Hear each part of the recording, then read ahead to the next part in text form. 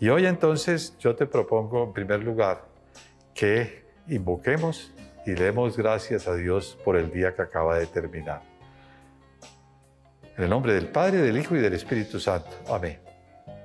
Traigamos a la memoria cada momento de este día que es motivo de nuestra acción de gracias. Señor, te doy gracias por este día y en particular por los dones que me has concedido hoy, los acontecimientos positivos que me han hecho sentir bien y también los negativos que me hacen reconocer la necesidad que tengo de ti.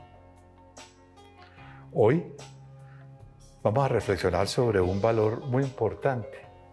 Todos son importantes, pero este que te propongo creo que es motivo de una reflexión especial. Se trata del valor de la paciencia. Nada te turbe, nada te espante, todo se pasa. Dios no se muda, la paciencia todo lo alcanza. Quien a Dios tiene, nada le falta, solo Dios basta. Esto lo escribió Santa Teresa de Jesús, también llamada o reconocida como Santa Teresa de Ávila. No desesperemos en medio de las situaciones difíciles y aceptar nuestras limitaciones. Es la invitación que nos hace. Y esta es una virtud que nos hace posible vivir con alegría y optimismo, la paciencia. Y por otra parte, la paciencia implica también la tolerancia ante los defectos de los demás, soportar con paciencia las debilidades y las flaquezas de nuestros prójimos. Es una de las llamadas obras de misericordia. Lo contrario de la paciencia, que es una de las virtudes capitales, es el pecado capital de la ira.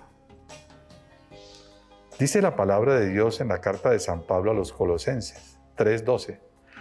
Pónganse pues el vestido que conviene a los elegidos de Dios, la compasión tierna, la bondad, la humildad, la mansedumbre, la paciencia.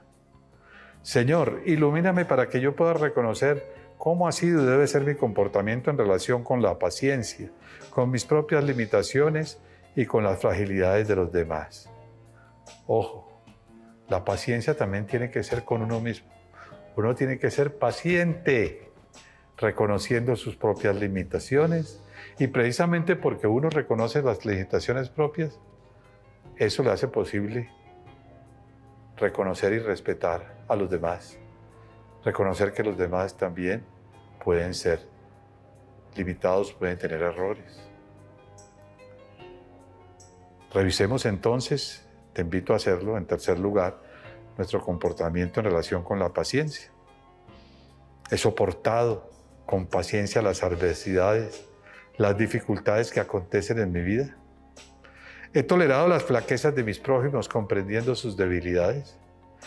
Cuando he visto que debo ayudar a los demás a superar sus fragilidades, lo he hecho con paciencia, con bondad, con misericordia, sin agredirlos. Revisémonos con respecto a la paciencia. Muchas veces nosotros decimos esta jaculatoria a veces sin, sin darnos cuenta de lo que estamos diciendo. Señor, dame paciencia. Bueno, que el Señor nos dé paciencia.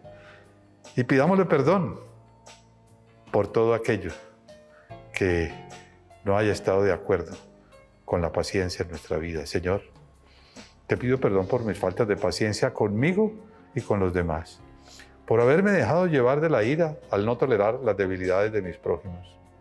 Y también por todo aquello que en mi comportamiento no haya estado de acuerdo con tu voluntad, que es voluntad de amor paciente. Propongamos la enmienda, hagamos un propósito. es en quinto lugar. Nosotros nos ponemos delante del Señor una vez más y le ofrecemos todo cuanto nosotros queremos hacer con su ayuda, eso sí, para mejorar en relación con este valor de la paciencia. Señor, te prometo tratar de ser paciente ante las adversidades, tener paciencia conmigo reconociendo mis limitaciones y con los demás soportando sus flaquezas. Ayúdame a realizar este propósito. Y terminamos con la oración ignaciana de la generosidad, como siempre lo hacemos. Toma, Señor, y recibe toda mi libertad, mi memoria, mi entendimiento toda mi voluntad, todo mi haber y mi poseer. Tú me lo diste a ti, Señor, retorno. Todo es tuyo. Dispone a toda tu voluntad. Dame tu amor y gracia, que ésta me basta. Y la bendición de Dios, Padre, Hijo y Espíritu Santo, descienda sobre ustedes y este servidor, y a todos nos acompañe siempre. Amén.